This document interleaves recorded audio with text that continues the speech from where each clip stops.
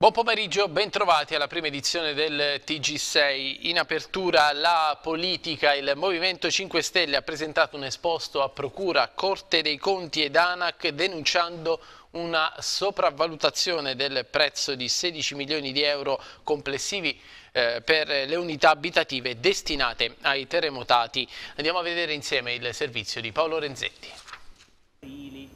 Pettinari si parla di eh, case terremotati di 427 abitazioni che la Regione Abruzzo dovrà destinare ai terremotati della nostra regione. Voi su questo eh, avete presentato un esposto all'ANAC, alla Corte dei Conti e alla Procura della Repubblica, perché? Sì, intanto un decreto legge nazionale prevede che le regioni possano acquistare l'invenduto dai costruttori e destinarlo poi agli sfollati del sisma 2016-2017. Ecco, Regione Abruzzo ha stilato una graduatoria per l'acquisto di 427 immobili, trattasi dell'invenduto appunto, da eh, poi destinare agli sfollati per un costo che si aggirerebbe intorno ai 62 milioni di euro, ma è lo stesso decreto legge nazionale che impone di compararli con le tabelle, le quotazioni dell'Agenzia delle Entrate per la valutazione della congruità dei prezzi. E noi siamo andati ad analizzare prezzo su prezzo, comparandolo con le tabelle dell'Agenzia delle Entrate relative al comune specifico, alle zone specifiche, e sembrerebbe esserci stata una sovrastima di 16 milioni di euro rispetto appunto alle quotazioni dell'Agenzia delle Entrate. Pur prendendo in considerazione gli oneri accessori, quindi spese notarile, spese di registrazione e quant'altro che possono cubare massimo 2-3 mila euro ad abitazione, verrebbe fuori comunque una sovrastima di eh, 13-14 milioni di euro. Quindi noi abbiamo presentato, siamo stati in dovere di presentare segnalazioni alla Procura della Repubblica dell'Aquila, all'autorità anticorruzione, alla Corte dei Conti e soprattutto una segnalazione al capo della Protezione Civile nazionale chiedendo di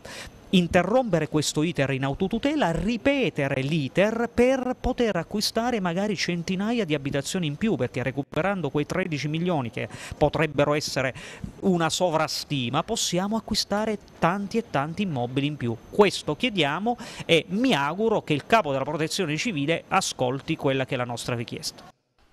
Andiamo avanti, risorse per 210 milioni di euro dalla cabina di regia di Palazzo Chigi per opere su strade provinciali e sulla ferrovia. Ad annunciarlo è stato il presidente della regione Abruzzo Luciano D'Alfonso in una conferenza stampa in cui ha reso noti i risultati della riunione a Roma. Fondi statali ha sottolineato D'Alfonso che non peseranno un euro sui cittadini abruzzesi. Un investimento complessivo di 186 milioni di euro destinato al potenziamento della infrastruttura ferroviaria in Abruzzo. È quanto annunciato dal presidente della giunta regionale Luciano D'Alfonso, sottolineando come si tratti di finanziamenti statali assegnati alla regione dalla cabina di regia dei fondi di sviluppo e coesione. Una quota pari a 75 milioni sarà utilizzata per l'ammodernamento della tratta sul Mona L'Aquila Rieti. Altri 111 invece verranno impiegati per il raddoppio del tratto tratto Pescara-Chieti-Manoppello a servizio dell'Interporto. Dalla cabina di regia dell'FSC la Regione ha ottenuto anche lo stanziamento di 24 milioni di euro di risorse statali che saranno assegnate all'ANAS per la manutenzione straordinaria di 550 km di strade provinciali che torneranno di competenza dello Stato. Abbiamo spiegato come in Abruzzo è fondamentale, per esempio, fare in modo che si completi l'infrastrutturazione ferroviaria tra Sulmona, L'Aquila e Rieti circa la elettrificazione e la velocizzazione. Si raddoppia la Pescara Chieti-Manoppello con un numero incredibile ma necessario di risorse non gravanti sulla fiscalità dei cittadini abruzzesi o sul bilancio della Regione Abruzzo, 111 milioni di euro. Questo tipo di infrastruttura che noi abbiamo fatto finanziare e che di qui a quattro mesi verrà contrattualizzata consentirà anche all'Interporto di avere una dignità, perché oggi è un'opera senza dignità, perché manca l'aggancio, la connessione ferroviaria. Nel totale 200 milioni, 210 milioni di euro per le infrastrutture ferrate e della gomma. Ed ora la cronaca, iniziamo da quella eh, giudiziaria, verrà sottoposto a perizia psichiatrica. Francesco Marfisi, l'uomo di Ortona che lo scorso 13 aprile ha ucciso a coltellate la moglie Letizia Primiterra e l'amica di lei Laura eh, Pezzella. Lo ha deciso il giudice del Tribunale di Chieti, Isabella Aglieri, era stato il difensore dell'uomo Rocco eh, Gian,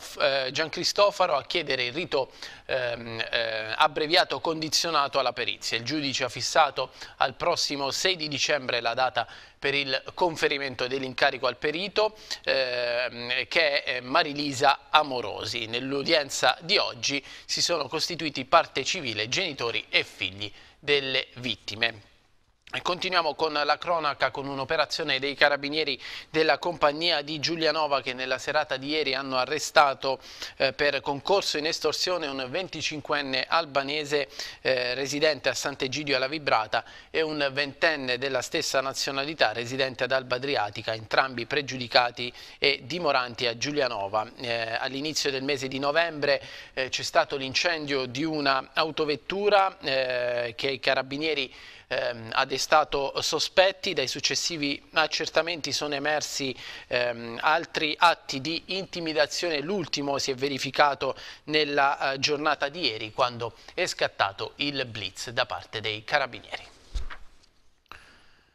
Ed ora eh, torniamo a parlare di politica, ma lo facciamo andando nel comune di Teramo. Sapete, eh, continua la crisi eh, politica amministrativa eh, del municipio. Il Partito Democratico di Teramo ha deciso di aderire alla proposta lanciata dal consigliere Gianluca Pomante di dimissioni per determinare lo scioglimento del Consiglio Comunale e di conseguenza la caduta della Giunta Brucchi. La firma davanti al notaio che era inizialmente prevista per oggi però non ci sarà ma ehm, avverrà nei prossimi giorni. Ascoltiamo eh, Manola Di Pasquale.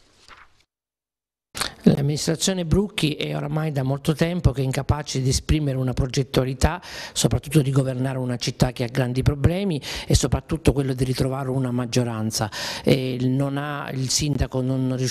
a, non trova la forza di dimettersi da questa posizione come dovrebbe essere in un senso di rispetto verso la città, credo che siano i consiglieri comunali a questo punto che debbano mettere fine a questa amministrazione. Il Partito Democratico con senso di responsabilità ha deciso in maniera maniera unitaria eh, di, ehm, da rimettere, di tornare al voto perché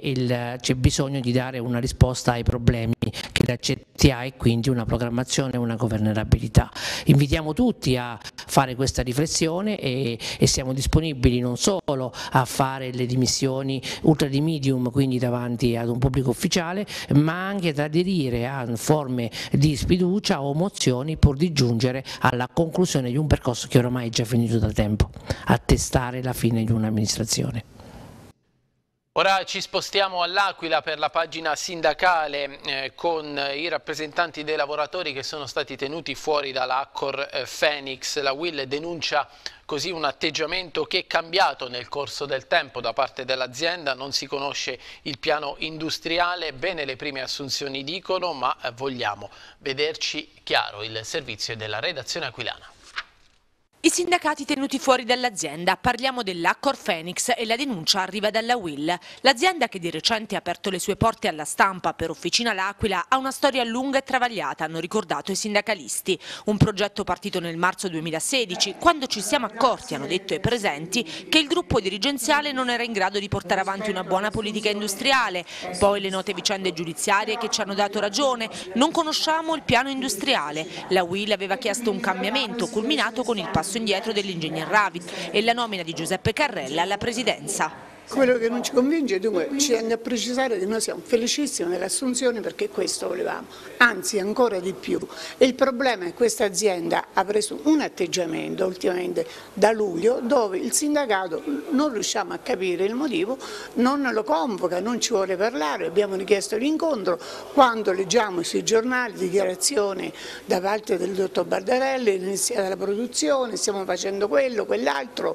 entrano giornalisti, entrano sindaci, ex sindaci, entra tutti a vedere, noi non sappiamo neanche i macchinari perché noi non ci hanno mai convocati. E questa è una cosa che dispiace perché il sindacato è il mio sindacato in modo particolare ha sempre avuto un atteggiamento positivo nei confronti di questo progetto perché continuo a dire l'unico progetto che avevamo, viva Dio, anzi questa azienda devo dire la verità è una delle poche aziende che riprende operai di una certa età perché sennò sarebbero veramente carne da macello perché non li vuole nessuno, però ultimamente ha preso un atteggiamento che noi non riusciamo a spiegare qual è il motivo perché noi ci tengono fuori da tutto quello che è la vita e il futuro di questa azienda. 30 assunzioni e ci siamo, dicono i sindacati, ne siamo ben contenti anche perché si tratta, non tutti, di lavoratori ripresi dall'ex elettronico, ma anche sulle cifre a regime completo c'è un po' di confusione. E ancora si chiedono i sindacati lì dentro chi comanda veramente? L'ultimo incontro che abbiamo fatto il dottor Bardarelli parlava di 80 persone un altro incontro l'ingegner Ravi parlava di 60, quindi diciamo un po' ballerino, ma là bisogna capire se le cose vanno se le cose vanno bene, secondo me c'è lo spazio per l'ex del polo elettronico e anche di nuove assunzioni, perciò siamo preoccupati perché noi vogliamo che le cose vadano bene, noi non possiamo permetterci un altro fallimento perché sarebbe la, questa la nostra preoccupazione, che noi non vogliamo assolutamente un altro fallimento, quindi vogliamo sapere vogliamo capire, perché questo è il nostro ruolo, in modo tale che non si possa ripetere quello che è successo l'anno scorso, non deve essere, anche capire chi comanda, perché là c'è un problema, quello che noi ci arriva da dentro che non si capisce chi comanda, se l'ingegner Rave effettivamente ha fatto un passendiero, se il nuovo presidente che c'è stato annunciato, questo è un problema secondo noi. Adesso torniamo a Pescara per occuparci del porto e dei lavori per il taglio della diga foranea. La seduta odierna della Commissione Consigliare Grandi Infrastrutture del Comune di Pescara, eh, presieduta dal consigliere Carlo Gaspari, ha visto oggi la presenza del Presidente della Regione D'Alfonso che ha illustrato appunto i lavori eh, che interesseranno la diga foranea e ha poi parlato del futuro del piano regolatore portuale. Con il Presidente della Commissione Grandi Infrastrutture del Comune di Pescara parliamo di questa commissione oggi con il Presidente D'Alfonso qui a Palazzo di Città per parlare eh, dei lavori che inizieranno a breve eh, per quanto riguarda il taglio della diga foranea, i lavori che eh, riguardano il piano regolatore portuale Gaspari. Sì, certamente oggi è un'occasione particolare, speciale per noi, per il Comune, per questa commissione che affronterà direttamente dal, con le parole di del Presidente, quali sono i tempi, i finanziamenti e le opere che verranno realizzati man mano dentro al porto di Pescara per risolvere l'annosa questione dell'interramento e vedremo di approfondire anche come si svolgeranno i lavori per, eh, nei tempi e, e, e quali saranno, se ci saranno ancora, modifiche al piano regolatore portuale. Lavori comunque importanti che si attendevano da anni al porto di Pescara. Certamente sì, io eh, questo devo dire che questa amministrazione regionale ci ha coinvolti e ci ha spinto a prendere delle decisioni, anche sollecitando un po', come si dice, le problematiche relative alla burocrazia. Lo abbiamo fatto noi, l'ha fatto l'amministrazione, finalmente si riesce ad entrare in acqua, in porto e vediamo se riusciamo a breve tempo a risolvere. Sono previsti nove mesi, intanto per prima questa prima fase eh, io credo che ci saranno dall'inizio buone prospettive. E proseguiamo con il nostro eh, giornale, mm, eh, formazione dei volontari e del personale amministrativo locale che mira a formare nuclei operativi in grado di intervenire prontamente in caso di inquinamento da idrocarburi lungo le coste. Questo è l'obiettivo del progetto Neptune, seconda edizione, organizzato e promosso dal Dipartimento di Protezione Civile e da Lega Ambiente, presentato oggi a Pescara. Un corso per formare eh, volontari di protezione civile da eh, impiegare in caso di emergenze, di inquinamento delle coste, soprattutto per lo sversamento di idrocarburi, un uh, corso importante. Un modo per rispondere in maniera pratica eh, e attuale a dei rischi potenziali che dall'ambiente marino possono provenire, come il tema degli sversamenti a mare derivanti da attività petrolifere, sia se si tratti di estrazioni o di semplice trasporto, un tema che fra l'altro interessa massimamente l'Adriatico. Affronteremo anche un'altra delle tematiche che molto, a noi sta molto a cuore, eh, che direttamente connesso al tema della tutela dei tratti costieri eh, da quegli agenti esterni che eh, vengono indotti dalle attività o umane o invece climatiche come quelle che abbiamo visto nei giorni scorsi, ovvero il tema dei rifiuti spiaggiati derivanti da attività, da eventi atmosferici cosiddetti eccezionali e, ed è un tema su cui personalmente sono presente e sto sollecitando il governo a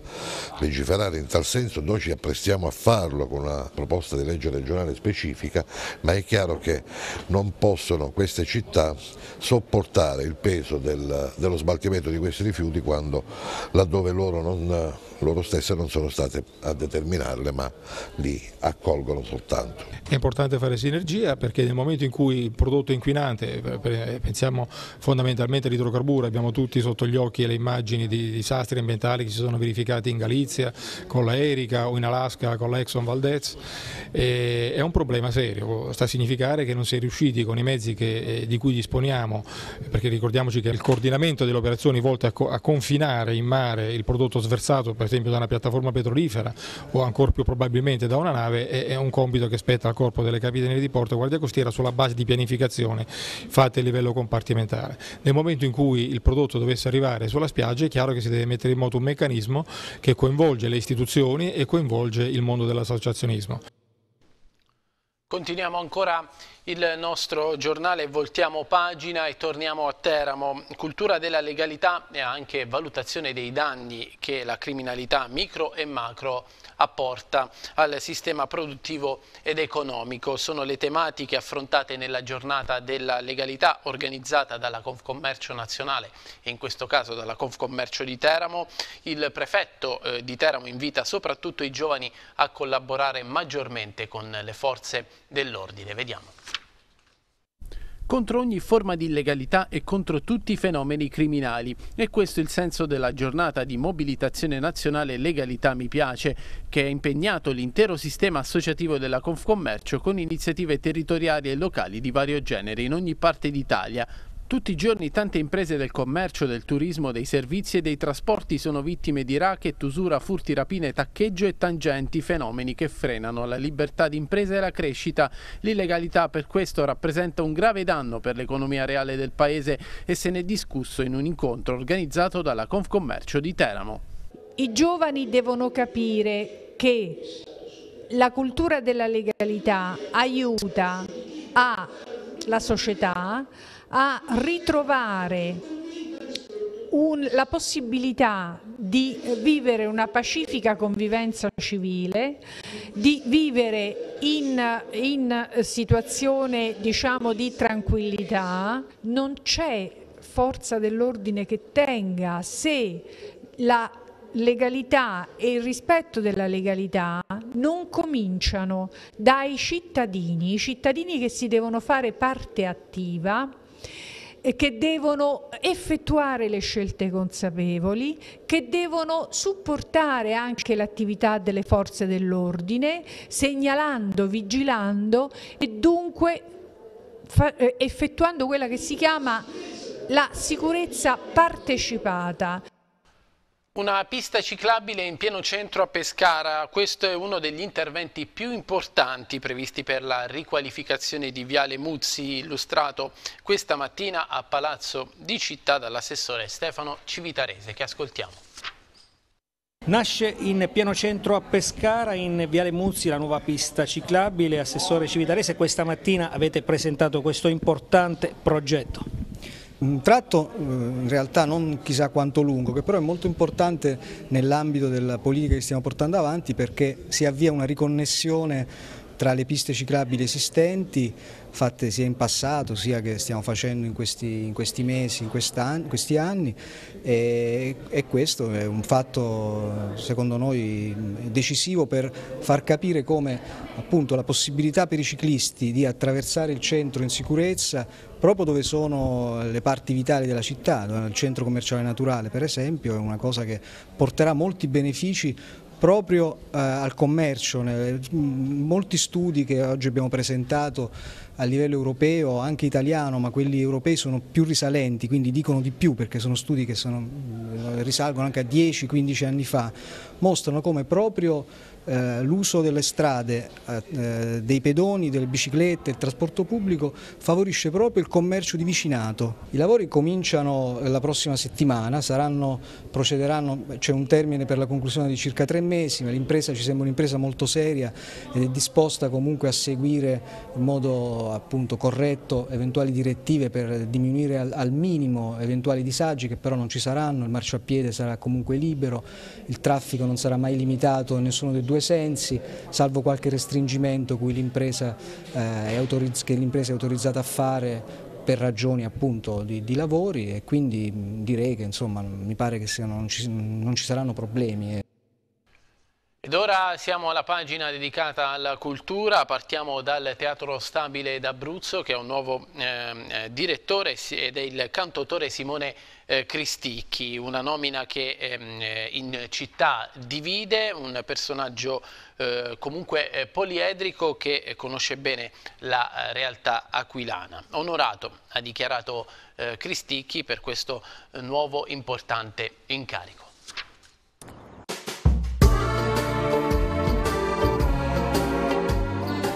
È Simone Cristicchi, cantautore, il direttore del Teatro Stabile d'Abruzzo, il nuovo direttore, nominato dal Consiglio di amministrazione dell'ente su proposta del vicepresidente Rita Centofanti, rappresentante del Comune dell'Aquila, d'intesa con la presidente Natalie Dompe.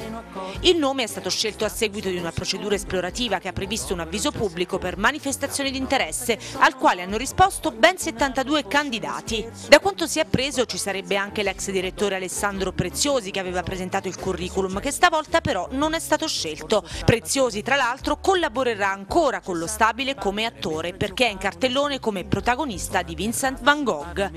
La scelta è caduta su Cristicchi, un talento poliedrico che ha saputo entusiasmare il pubblico e raccogliere premi di prestigio sia nella scena musicale ma non solo, anche nel teatro di prosa, autore che ama sperimentare e mettersi in gioco. Tra l'altro per lui non è la prima volta all'Aquila, portò qui anni fa un suo monologo. Cristicchi infatti ha numerosi punti di contatto con la città dell'Aquila. Nel pezzo L'Italia di Piero, con il quale ha vinto Sanremo nel 2007, c'è un verso che parla addirittura del famoso bidello aquilano Mario Magnotta. E poi ancora in un'altra canzone, I terremotati ancora in vacanza, riferendosi alle dichiarazioni dell'allora premier Silvio Berlusconi, insomma, ha parlato già e conosce bene la situazione dell'Aquila, essendo stato in città dopo il terremoto tra l'altro. Onorato, spero di essere degno, così ha dichiarato in invece Simone Cristicchi. Sono orgoglioso di portare la mia esperienza teatrale e le idee migliori affinché il teatro possa essere il luogo deputato a ritrovarsi come comunità, la casa di tutti. Sembra più una scuola serale, tipo un corso di aggiornamento, dove si impara ad amare la vita in ogni singolo momento. Proseguiamo, la Biblioteca Melchiorre Delfico di Teramo. Questa mattina in una conferenza stampa è stato tracciato il bilancio dei primi 12 mesi di gestione della struttura da parte della Regione Abruzzo. Le novità di quest'anno dal 1 gennaio 2017 dove il, decreto del Rio ha eh, consegnato alle regioni le ex biblioteche provinciali sono molto importanti innanzitutto perché abbiamo mantenuto gli standard di quello che erano gli anni precedenti. Eh, questa mattina siamo qui a Teramo perché riteniamo che anche questa città meriti attenzione nel centro, nell'habitat eh, più naturale di quello della cultura che è la Delfico, riteniamo che è stato fatto uno sforzo molto eh, grande e importante da parte della regione Abruzzo. Vorrei dire che anche sul fatto del personale abbiamo coinvolto qui eh, sia l'APC che era Teramana che era anche a Teramo, il personale l'abbiamo confluito tutto alla Delfico anche per dare continuità sui servizi offerti prima. Innanzitutto poi abbiamo messo anche il contributo, è aumentato questo anno per far sì che l'emeroteca, le biblioteche si possano acquistare libri, la Delfico di Terno spende circa 15.000 euro per il rinnovo dei libri e altrettanto credo, se non ricordo male, anche per la questione delle, dei libri da eh, dare. E inoltre c'è il sistema MLOL che è un sistema digitalizzato per quanto riguarda il prestito eh, interbibliotecario con i cittadini o mettere in rete tutto un sistema di rete mh, bibliotecaria abruzzesi, anche perché speriamo anche di creare con una legge apposita questa biblioteca eh, regionale abruzzese che non si dida più eh, nelle eh, questioni ehm, come dire, eh, locali o provinciali. E credo che abbia bisogno di un sistema regionale poiché eh, questa è ormai una competenza della, della, della regione Abruzzo. Adesso apriamo la pagina dello sport. Il Pescara continua la eh, preparazione in vista della gara di sabato prossimo in casa dello eh, Spezia. Nel pomeriggio i biancazzurri sosterranno un amichevole ad Ortona contro la locale formazione che milita nel campionato di promozione. Biglietti da 5 euro con l'incasso che sarà devoluto a due istituti scolastici ortonesi. In questa amichevole Zeman darà spazio ai giocatori meno impiegati, tanto da non aver convocato tutti eh, i giocatori messi in campo domenica scorsa contro la Provercelli con l'eccezione di Crescenzi. È molto probabile che Zeman confermi la stessa squadra per il match del Picco Picco, nell'amichevole di Ortona mancheranno anche gli infortunati Proietti, Bovo e Balzano che continuano a lavorare in forma differenziata e che salteranno la trasferta Ligure. Subito dopo il match la squadra e lo staff tecnico parteciperanno all'inaugurazione del nuovo store del Pescara ad Ortona in via Monte Maiella. Scendiamo di categoria, adesso andiamo in Serie C alle 16.30, il Teramo sarà in campo allo stadio Enrico Rocchi per sfidare la Viterbese degli ex di Paolo Antonio e Cenciarelli nella gara secca che darà accesso agli ottavi eh, di finale della Coppa Italia di Serie C. Questa eh, mattina il vice allenatore eh, Zichella ha diretto l'allenamento per i giocatori che non sono stati convocati per questa gara. Lo stesso Zichella ieri eh, sera ha partecipato alla trasmissione Proteramo parlando eh, tra le altre cose del modulo e del suo rapporto con l'allenatore Asta. Siamo stati avversari in C, io allenavo il Valdosta in C e lui il Monza in C. Eh, poi abbiamo fatto domanda, ma senza saperlo, insieme al Master, UEFA Pro, il massimo patentino che un allenatore possa aspirare, ci siamo presi tutti e due e eravamo in stanza insieme e da lì in poi abbiamo deciso di metterci insieme se volevamo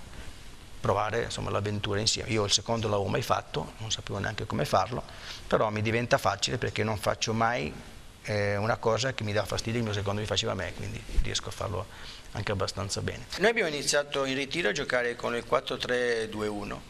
eh, insomma le cose andavano anche abbastanza bene, eh, poi abbiamo fatto 20 minuti, 25 minuti eh, a Pordenone dove veramente non so se l'abbiamo anche noi aiutati loro, ma sembravano veramente una squadra di categoria nettamente superiore in, in quel momento lì.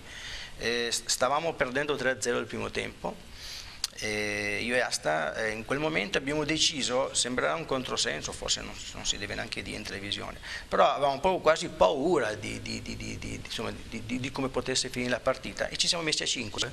in quel momento noi ci siamo messi a 5, sembrerà strano, un controsenso, ma per difendere il 3-0. Quel, da quel momento abbiamo detto aspetta un attimo, allora ragioniamoci un attimo, guardiamo le caratteristiche veramente dei nostri difensori quali sono. Eh, difatti eh, mi sembra che adesso con la difesa 3, con eh, Speranza, Caidi e l'inserimento di Sales, mi sembra che la squadra abbia più equilibrio. Io non, non avevo nessuna intenzione di venire a Teramo, eh, non volevo venire, uno perché è lontano da casa mia e, e poi insomma volevo fare altre, altre esperienze, altre avventure. Poi insomma mi sono lasciato convincere, riconvincere per secondo anno di seguito da Asta eh, a venire e devo essere sincero, adesso mi trovo veramente bene. Mm, vivo in un posto bellissimo, Roseto, che è un posto fantastico secondo me, e, e poi a me fuori casa è, è, normale, ma quando gioco in casa io sento proprio la gente, mi piace, veramente è una cosa che, che mi dà molta soddisfazione. Giornata speciale quella odierna per l'Avezzano Calcio, una delegazione del sodalizio bianco-verde è stata ricevuta questa mattina da Papa Francesco in udienza a Piazza San Pietro. A rappresentare l'Avezzano sono stati il presidente Gianni Paris, il direttore sportivo Filippo Marracutrupi, il direttore generale Carlo Iacovitti e l'allenatore Federico Giampaolo. La società marsicana ha consegnato al pontefice una maglia con la scritta dorata Francesco, la state vedendo in questo istante, una sciarpa, un gagliardetto e un pallone autografato, una mattinata emozionante che si inserisce in un momento che anche sportivamente sta regalando grandi soddisfazioni all'Avezzano che dopo un brutto inizio di stagione ha infilato nove risultati utili consecutivi istandosi al quarto posto in classifica domenica trasferta sul campo della Recanatese.